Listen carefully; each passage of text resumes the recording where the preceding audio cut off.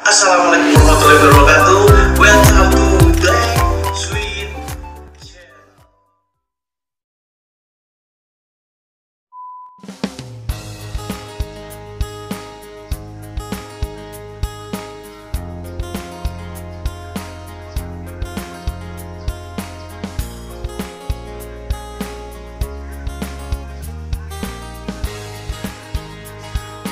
Assalamualaikum warahmatullahi wabarakatuh.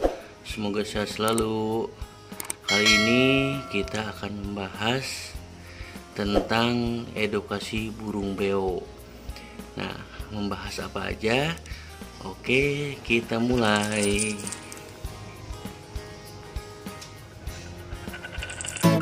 Ya kali ini kita akan membahas Tahap pertama dalam memandikan burung beo Nah, dalam tahap pertama ini untuk memandikan burung beo sebaiknya kalian mengeluarkan dulu makanannya supaya tidak terkena basah.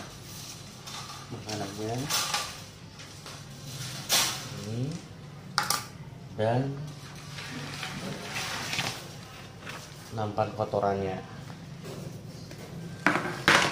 Setelah itu kalian bisa memberikan cepuk atau wadah untuk dia mandi sendiri. Jadi saran saya untuk memandikan burung beo tahap pertama yaitu agar beo mandi sendiri. Jangan kita mandikan disemprot atau disiram.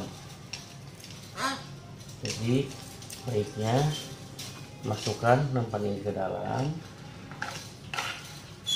dan biarkan burung beo supaya mandi sendiri. Nah kalian bisa tunggu beberapa saat sampai burung beo mau mandi sendiri.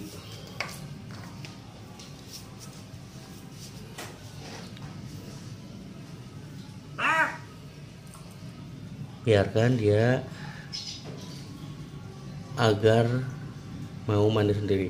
Nah, apabila nanti burung beo tetap tidak mau mandi sendiri, nanti kita lanjut ke langkah kedua. Oke. Sekarang kita mulai tahap 2. Cara yang kedua, kalau misalkan tahap pertama tadi cepuk, dia tidak mau untuk mandi sendiri, sekarang tahap keduanya yaitu menyiram kaki cukup kaki dan tangkringannya saja. Seperti ini.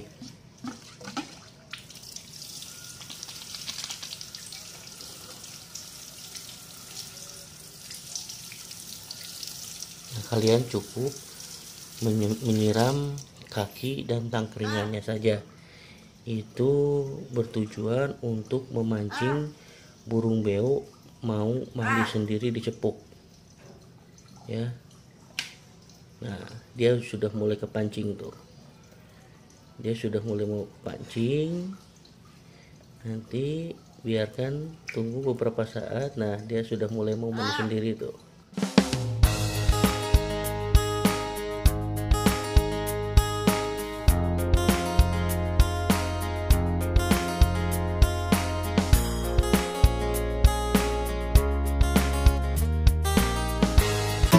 Tahap ketiga tahap yang ketiga kalian bisa menggunakan selang untuk uh, memandikan burung beo bisa menggunakan selang seperti ini. Kalian cukup menyiram bagian tubuhnya saja. Ingat bagian tubuhnya saja. Seperti ini. Jangan sampai terkena kepalanya. Kenapa? Karena akan membuat burung beo tersebut menjadi flu.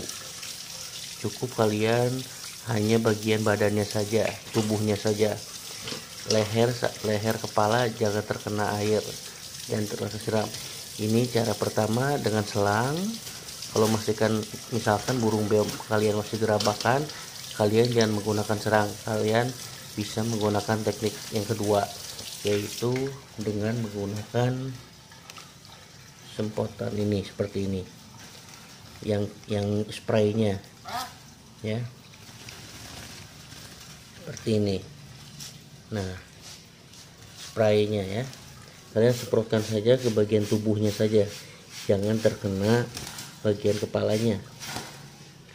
Nah, cukup. Kalian semprot terus sampai badannya basah kuyup nah berapa kali dalam memandikan beo sebaiknya? Sebaiknya kalian memandikan beo minimal dua kali sehari atau tiga kali. Kenapa karena burung beo memiliki suhu tubuh yang panas jadi dia memerlukan kesejukan di badannya untuk tidak kepanasan seperti itu. Nah jadi kalian cukup pagi dan sore atau pagi siang dan sore. Tiga kali atau dua kali gimana kalian. Cuman cara tekniknya seperti itu ya. Di spray aja setelah memandikan burung beo kalian cukup mengangin-anginkannya atau e, menjemurnya tapi tidak langsung ter, tidak tersorot matahari langsung. Jadi e, matahari terha bisa terhalang dengan fiber atau semacam lainnya. Contoh seperti ini. Nah, jadi langsung tidak langsung terkena matahari. Nah untuk kalian yang misalkan mau memandikan burung beo lihat kondisi cuaca terlebih dahulu. Apakah mendung atau hujan atau bagaimana itu sebaiknya tidak memandikan dulu karena itu akan mengakibatkan burung beo menjadi uh, sakit nantinya flu. Sebaiknya kalian uh, memandikan burung beo saat ada matahari seperti ini atau matahari yang tidak terlalu terik lah begitu. Jadi kita memandikan sesuai dengan tata caranya ya. Oke mungkin sekian dari saya untuk edukasi hari ini. Terima kasih. Assalamualaikum